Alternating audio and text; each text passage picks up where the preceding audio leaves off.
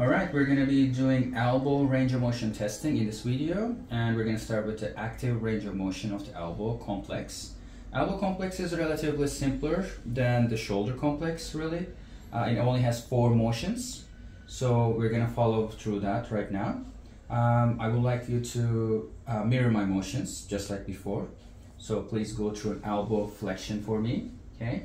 Now in this position though I would like to do a quick correction. This is a very common mistake uh, let's try to do it on a neutral elbow, not a supinated elbow, because we don't want to involve other muscles right now. Just try to keep it neutral. So please make sure your client is doing neutral motions before you add on extra stuff.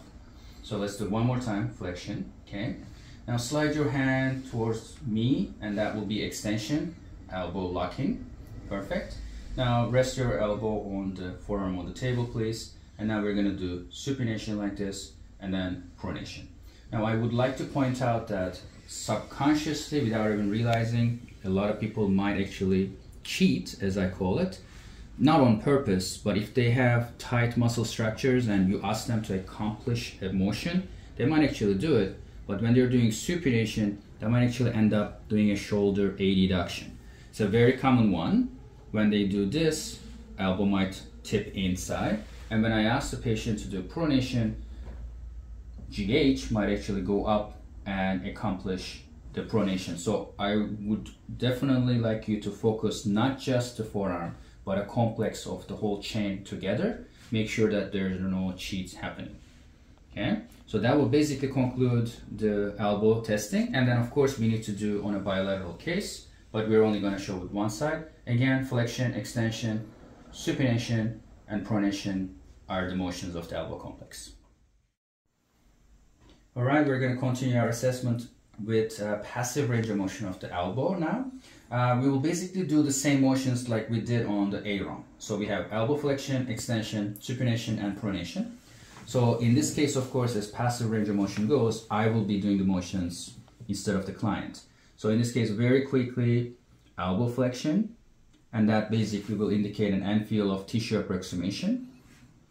is very, very common forearm is touching the anterior arm biceps. And then in this case, also elbow extension. Now this one I would be definitely careful because this is a bone and bone end feel. So it will be an abrupt stop. It won't necessarily be a tissue approximation like a soft landing or a tissue stretch like there's some give. There won't be any give on this on normal circumstances. It will be an abrupt stop. So you want to be careful with the end feel passive pressure here. As far as the pronation and supination is concerned, let's follow through the same order that we did on the AROM and we're going to do pa um, supination, passive uh, range of motion. So in this case, radius is the one doing the pronation and supination, the rotation, okay? So that's why there's no point of holding the entire forearm and turning. Then you're missing a lot of information. So make sure to just hold on the radius and rotate the radius into supination and same thing will happen with the pronation and the end feel for supination and pronation will be under normal circumstances tissue stretch. So again, I, my other hand is on the under the elbow, so that gives me a little bit of a palpation um, opportunity.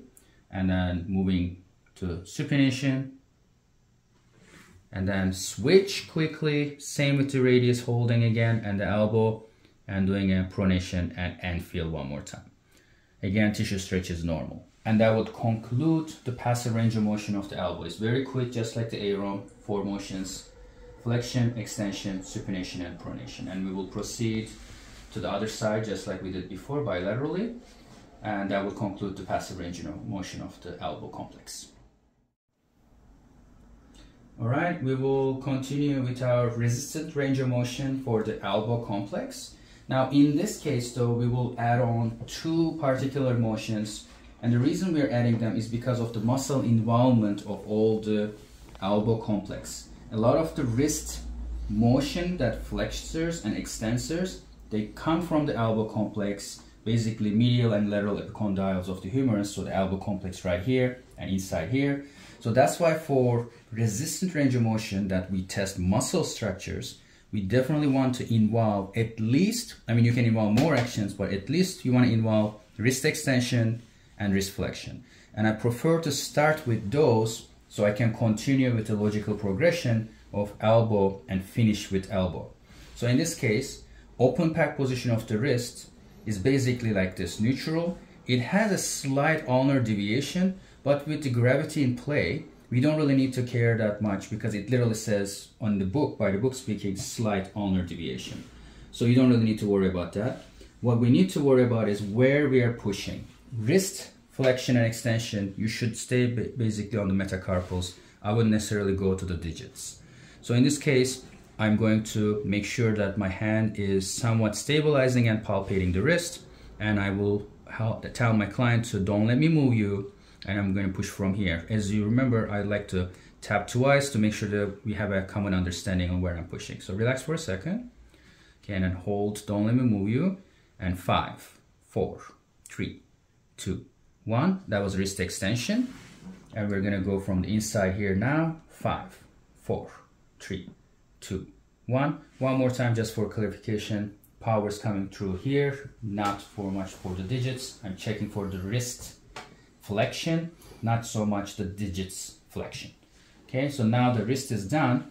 Open pack position of the elbow roughly around here. It's roughly around 70 degrees of flexion and a slight supination about 10 degrees. But again, because 10 degrees is such a small number, I wouldn't really worry about it. My focus is 70 degrees of flexion of the elbow, not so much 90 degrees right here. So I would like you to hold right here. I'm going to push down. Again, not to hand the uh, forearm right here, elbow. And don't move your hold. Five, four, three, two, one. And I'm to do a quick correction right here. Perfect. And hold. I'm to push up. Five, four, three, two, one. Excellent. Without moving so much. Now if I try to pull the client into supination and I ask her to hold, then I will check for pronation. But I'm gonna try to stick with the order that we started with AROM and PROM. So I need to switch and make sure that I try to put the client into pronation. That means that she has to activate her supinator muscles. So in this case, okay, don't move I'm gonna go this way and hold. Five, four, three, two, one. Again, as you remember from passive range of motion, my focus is on radius, not the entire wrist. And then we'll finish the exam with pronation. So I'm trying to pull the client into supination and hold, don't let me move you. Five, four, three, two, one. And that's, we'll basically conclude the resistant range of motion of the elbow. Again, flexion and extension of the wrist should be involved. So AROM four motions, PROM four motions, but ROM, resistant range of motion is actually minimum six motions. Okay, and then again, we are going to compare it bilaterally, and then we'll complete the resistant range of motion of the testing of elbow complex.